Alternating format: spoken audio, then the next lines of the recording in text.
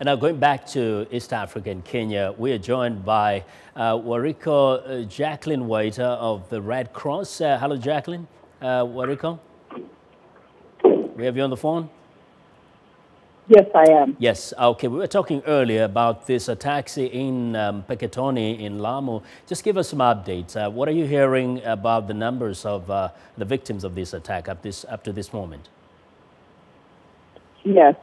Um, the attacks um, started on Sunday, the 15th, in Mpeketoni, and um, we were able to access uh, the area in the Red Cross early morning on the, the 16th.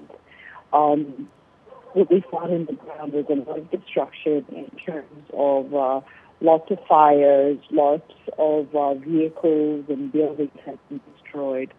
And um, the count was 48 people were confirmed um, dead at the, t- at the time. Three casualties were found still um, hanging in there and were evacuated to local hospitals. Unfortunately, one um, succumbed to injuries, and so the death toll for Sony um, has been confirmed at 49. Mm-hmm. We are on the ground uh, as Kenya Red Cross um, providing psychosocial support and um, tracing services for people who are um, missing or trying to get in touch with loved ones. And to date, we have open cases of 52 that have been reported.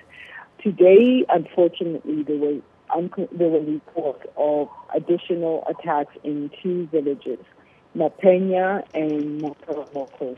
Um, there were fires that were confirmed. Um, four houses had been razed to the ground. Uh, one was an incomplete one, so four buildings yeah. had been set on fire but there were no casualties, no fatalities. Very, very quickly, uh, are you feeling safe over there? Do you see a presence, uh, sufficient presence of security officials? Pardon me? Do you feel that the, the government has beefed up security in the area? Do you feel safe working there as Red Cross? Yes, well, the government is, is and the government forces and security forces are definitely um, forces are on the ground and security has been beefed up. Or in some of the places, um, accessibility is very a big challenge. There's very um, wet ground, it's rushy, and so vehicles cannot access. Um, there's forest cover as well. But in the town, the government forces on the ground and, and uh, quite visible in okay. terms of the number of personnel. All right. Uh, thanks a lot, uh, despite that poor line there, but uh, we thank you very much, uh, Ms. Waita, uh, for the insight. Wariko Jacqueline Waita is the Director of External Relations and Resource Mobilizations for the, for the Kenya Red Cross. Now.